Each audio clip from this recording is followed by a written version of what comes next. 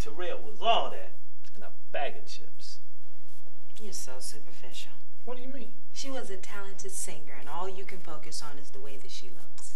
No, I can just appreciate her beauty as well as her talent. Mm-hmm. You just did it again. What?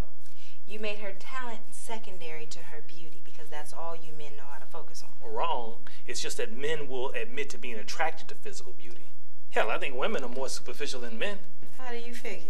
Because at least men will admit what they're attracted to, but women won't admit that they're attracted to powerful men. I'm attracted to what's on the inside of a man.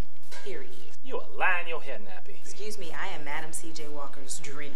No, look at the way you practically had an orgasm up in Berry Gordy's old office. Ah.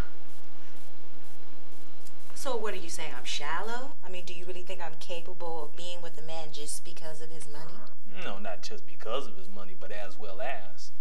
Look, I'm just saying that a man has to have some form of power to attract a woman. It can be physical, spiritual, economic, but he has to have some form of it to attract a woman. That's interesting. How's that? Because I never noticed any of those qualities in you. Oh, well, look at that. Ah, oh, you gonna go there? Well, I went there.